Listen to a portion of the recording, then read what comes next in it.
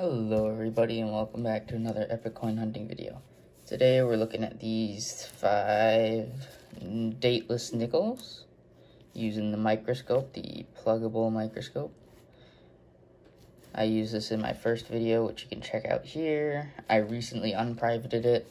It used to be privated because I don't know. Anyways, it's unprivate again so it should be right up here if I link it correctly. Um yeah, it's a good microscope. And we're going to check out two V nickels and three Buffalo nickels. I'll put the V nickels last because I think those ones are going to be a bit harder. So this should be a pretty short video, probably like five, ten minutes long at most. Five minutes probably though. And uh, let's start with this one. Alright so as you can see it's it's very worn down. I got all these uh 25 cents each at a coin shop in their world coins bin even though these aren't world coins it looks like this one's got a uh, D mint mark on it right down there from denver mint. But as you can see these things are just worn down. Who knows when. So let's see here. I'll get this pulled up on the screen, get it all focused and stuff.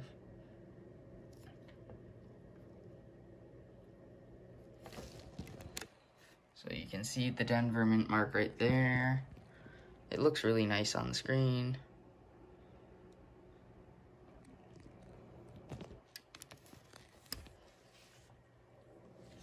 So I'm gonna flip it over now. I'll give you guys a look on this camera before I put it up on the screen.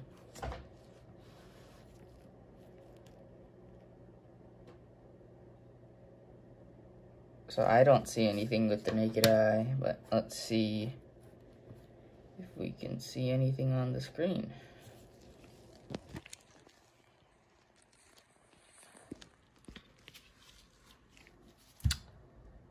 Alright, so I can't see anything at the first look. I'll look at all these after uh, you turn off the cameras too, just to make sure I didn't miss anything. But it looks like there you can still see the F from the Incuse design of the designer initials. Um, but that's pretty much all I can see other than all these scratches. You can see all the scratches. Look at that. There's an X there. It's just all scratched up anyways. I'll take that one out.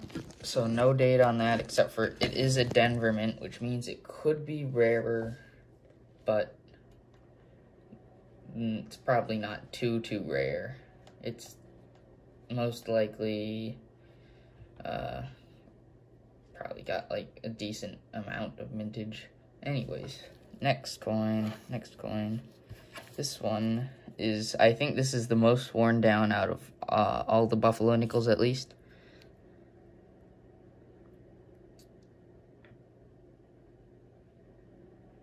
And it's even got a little chunk out of it up here. And then on the next next side, the reverse. I don't think there's a date on it, but you can see it's been hit with something up there. And it's worn down entirely. There's barely any details on it. Other than, you know, like the big things that are like the buffalo and the face and whatnot. But other than that, there's basically no details on it. So let's check for a mint mark.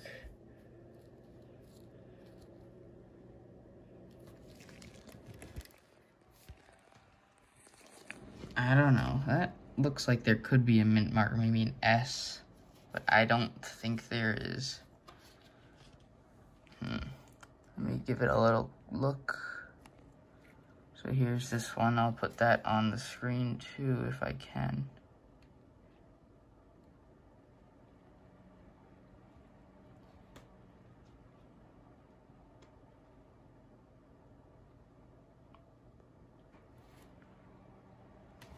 So there we go. You can see this one. It's a demon mark. There could be a mint mark there. I don't know. It looks like there could be an S. Really small S. But I don't know. Let me know your opinions on that. Oh yeah, I forgot to mention, let me know all your opinions on all these coins. Also, this looks like it's going to be a longer video because it's already at 5 minutes. Uh, Alright, here's the where the date should be.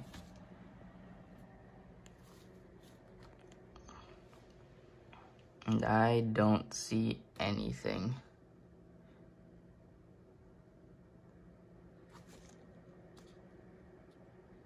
Alright. So that coin's done. Yeah, let me know all your opinions on these coins, because especially the ones that I cannot definitely get. Alright, next one.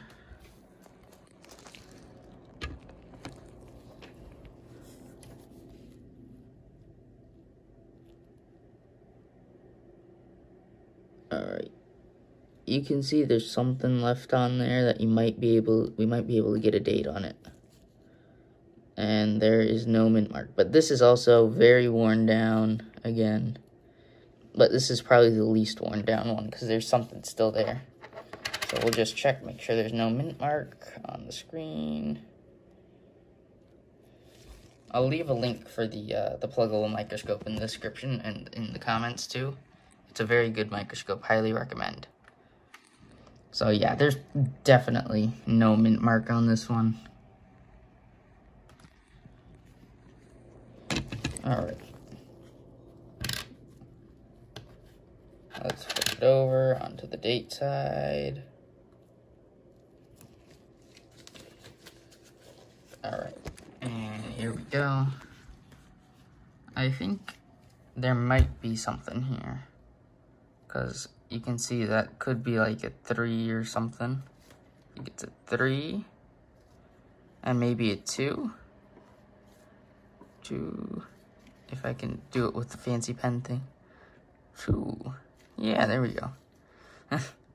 uh, yeah, a two and a three. So this could be a 1923 with no mint mark which would mean that this has a mintage of uh, 35.7 million.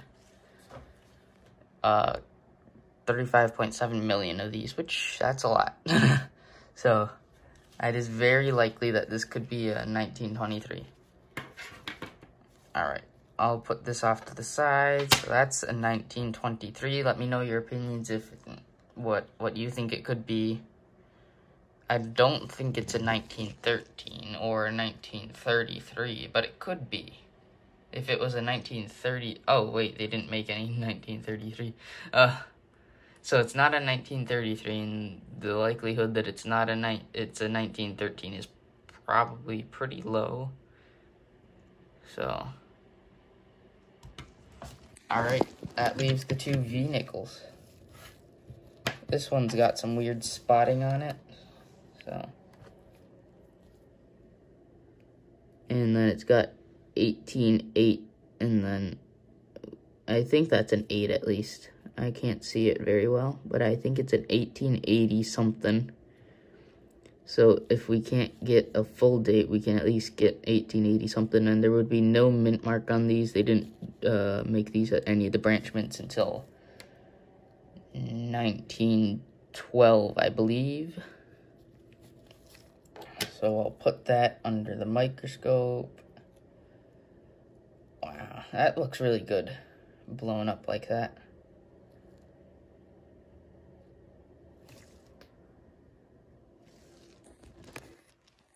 Here it is. So you can see one, eight, and then probably another eight. And then you might not be able to see it, but it looks like there's a seven on the screen. You might not be able to see it because it's very, very faint.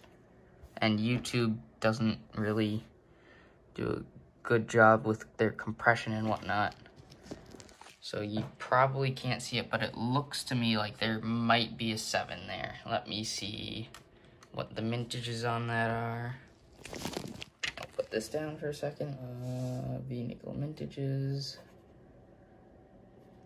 That, if this was in 1887, that would mean that this had a mintage of 15 million-ish. So, not a very rare coin, but still if we can get, if that date is definite, that's, at least we got a date out of it. Alright, I'll put that off to the side with the other one that we definitely, almost definitely have date on. And then here for the last one, this one, this one also looks like it could have an 1880 something.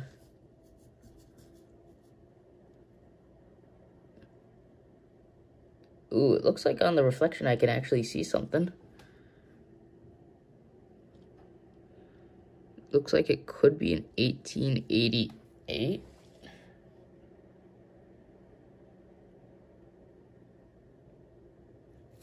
Here, I'll put it on the scope. Uh, here.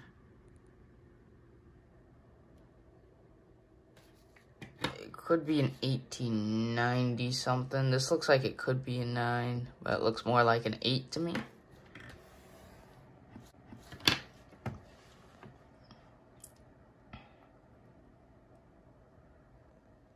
But I can't see anything else other than that.